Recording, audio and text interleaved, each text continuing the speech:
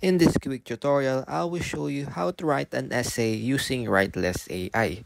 Start by opening Writeless AI by typing writeless.ai. Now you can create few essays.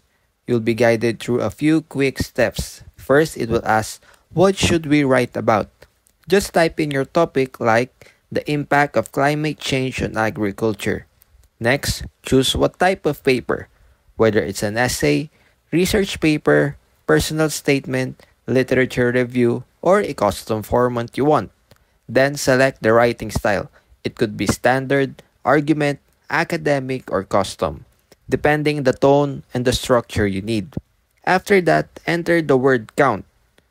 Then, specify how many citations you want included in your paper. You will also be asked if you want it to make it undetectable. You can choose yes if you want the content optimized to avoid AI detection tools. Once all the fields are filled, click Generate.